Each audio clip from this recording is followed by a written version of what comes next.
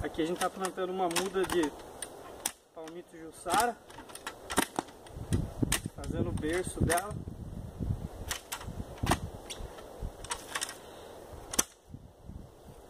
Dá uma aproximada aqui, Fernando, por favor.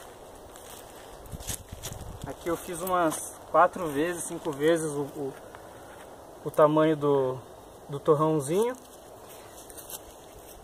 o berço. Agora eu vou pôr um pouco de grama cortada, resto de folha. Eu gosto de fazer isso aqui para segurar a umidade. E conforme as aparas vão, vão decompondo, vai liberando nutrientes, matéria orgânica. Agora eu vou pôr a terra.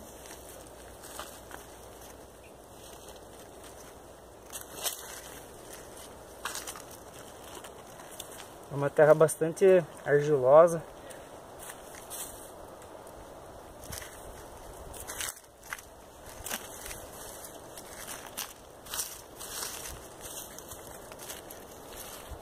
Coloquei até o nível do, do substrato do torrão. Agora essa resta de grama eu vou cobrir aqui a planta para manter uma temperatura boa.